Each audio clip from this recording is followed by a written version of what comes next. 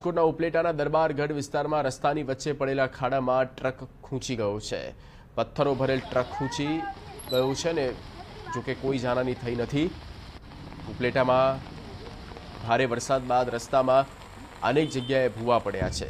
તો ખાડામાં ટ્રકનું ટાયર ઘૂસી ગયું છે. ઉપલેટાના દ્રશ્ય આપણે બતાવી રહ્યા છે. રસ્તાઓ પોલા પડી ગયા અને તેના કારણે આ ટાયર આખું કઈ રીતે ગરકાવ થયું છે. આપ જોઈ શકો છો આ દ્રશ્યો. ખાડો પડ્યો નગરપાલિકાનું તારે હાટું નથી